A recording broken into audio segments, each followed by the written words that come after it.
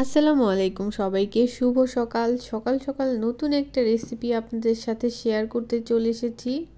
বড় মাছের মাথা দিয়ে লাউ শাক রান্না করে দেখাবো। আমার এলাকায় এটাকে মুড়ি ঘন্ট বলা হয়। আপনার এলাকায় এই রেসিপিটার নাম কি অবশ্যই কমেন্ট করে জানাবেন। তো এখানে মাছের মাথাকে ছোট ছোট টুকরো করে নেওয়া হয়েছে। পরিমাণ মতো তেল দিয়ে পেঁয়াজ কুচি আর মরিচের ফালি দিয়ে দিলাম। এগুলোকে ভালো করে নেড়ে চেড়ে নিচ্ছি। আমি এখানে রুই মাছের মাথা আর লাউ শাক নিয়েছি। আপনারা চাইলে এই রেসিপিটা অন্য কোনো মাছ বা অন্য কোনো শাকের সাথেও করতে পারেন এইভাবে।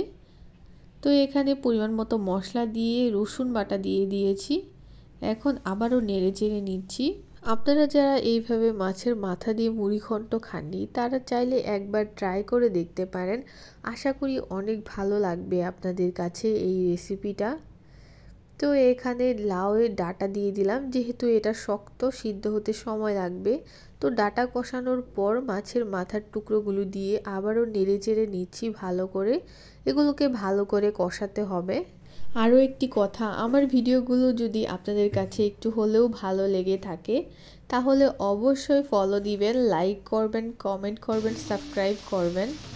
মাছ কষানো হয়ে গেছে, এখন লাউ শাকগুলো দিয়ে দিচ্ছি এক এক করে।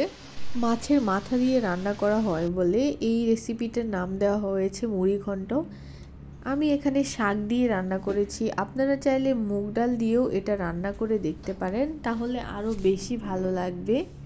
আমি এখানে কোনো পানি অ্যাড করিনি, শাক থেকেই পানি উঠে এসেছে।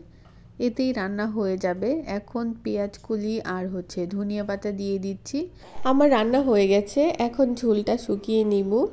এতক্ষণ যারা আমার সম্পূর্ণ ভিডিওটা দেখেছেন, তাদেরকে অসংখ্য ধন্যবাদ জানিয়ে আজকের ভিডিও এখানে শেষ করছি। আল্লাহ হাফেজ।